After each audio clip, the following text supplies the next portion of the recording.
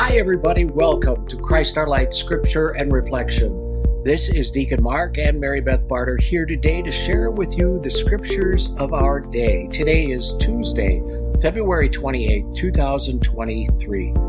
Let's begin with prayer. Look upon your family, Lord, that through the chastening effects of bodily discipline, our minds may be radiant in your presence with the strength of our yearning for you. We make this prayer through Christ our Lord. Amen. A reading from the book of the prophet Isaiah. Thus says the Lord Just as from the heavens the rain and snow come down, and do not return there till they have watered the earth, making it fertile and fruitful, giving seed to the one who sows and bread to the one who eats, so shall my word be that goes forth from my mouth. It shall not return to me void, but shall do my will achieving the end for which I sent it. The word of the Lord. The response From all their distress, God rescues the just. Glorify the Lord with me. Let us together extol his name. I sought the Lord, and he answered me, and delivered me from all my fears. From all their distress, God rescues the just.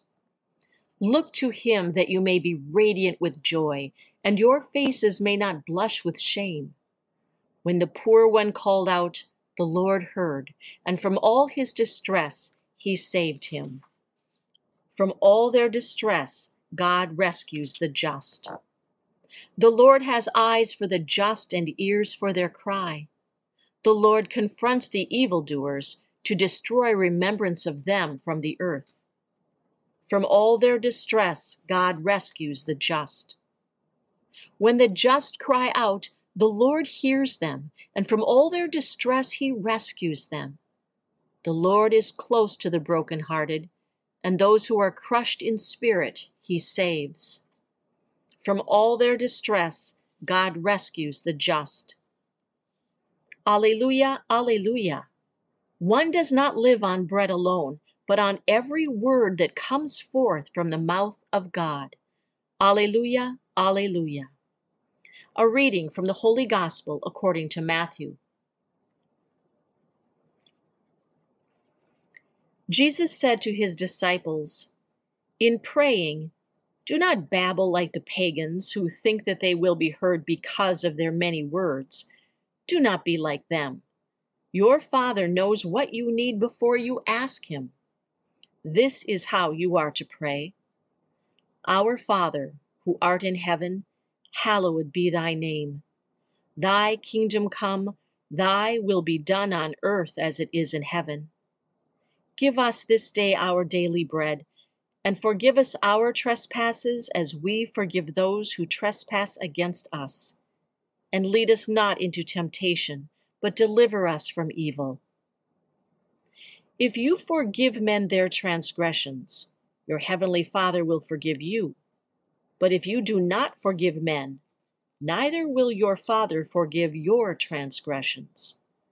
The Gospel of the Lord.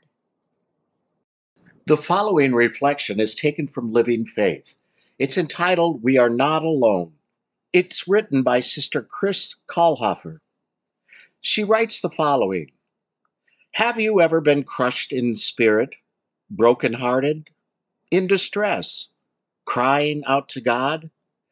I call those experiences the school no one ever wants to attend, the school of pain and loss, of losing one's grip on hope. Of course, no one ever wants to register for such a school, but I've come to believe there is much important learning that can come to us from these excruciating moments that we might not come by any other way. Where is God in these times? The psalmist tells us the Holy One is close to the brokenhearted. The Holy One offers us his presence, walking beside us, accompanying us, assuring us that we are not alone or abandoned. May we do the same today for others. Let us pray. Lord, may your strength be at work within us as we move about our day.